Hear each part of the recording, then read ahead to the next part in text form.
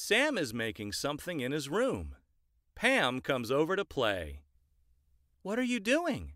asked Pam. I am making a new toy, said Sam.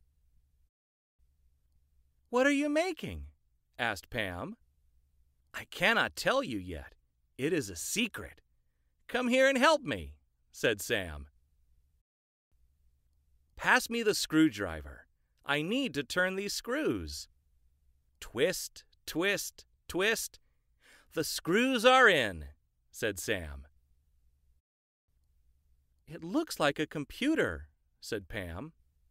It is not a computer. I told you it is a secret, said Sam. Pass me the glue. I need to stick these corners together. Stick, stick, stick. Now let's wait for the glue to dry, said Sam. I think it is a train, said Pam. It is not a train. I told you it is a secret, said Sam. Fine, do not tell me. I will wait, said Pam. I am almost finished, said Sam. Pass me the scissors. I need to cut out these stickers. Cut, cut, cut.